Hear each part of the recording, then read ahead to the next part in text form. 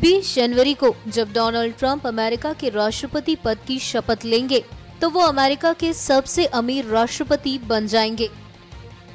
लेकिन आपको ये सुनकर शायद हैरानी हो कि अमेरिका के टॉप 100 अमीरों में शुमार डोनाल्ड ट्रंप का घर नीलाम हो रहा है।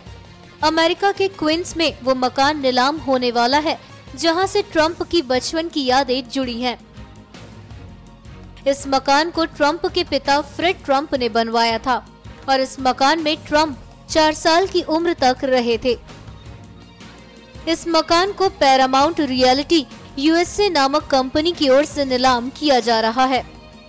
पैरामाउंट की पदाधिकारी मिशा हेगानी ने कहा, ये अद्भुत है और इसकी बहुत कीमत है, जो कि किसी दूसरी रियल स्टेट संपत्ति से ज़्यादा है। बता दें कि पिछले साल माइकल डेविस नामक व्यक्ति ने इस मकान को करीब 14 लाख डॉलर में खरीदा था। डेविस की तरफ़ से इस मकान को पैरामाउंट रियलिटी यूएसए नामक कंपनी नीलाम करने जा रही है।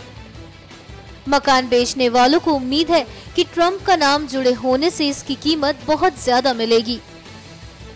गौरतलब है कि डोनाल्ड ट्रंप फ़िलहाल न्यूयॉर्क स्थित ट्रंप टावर में रह रहे हैं। 20 जनवरी को शपथ लेने के बाद उनका आधिकारिक निवास स्थल व्हाइट हाउस होगा।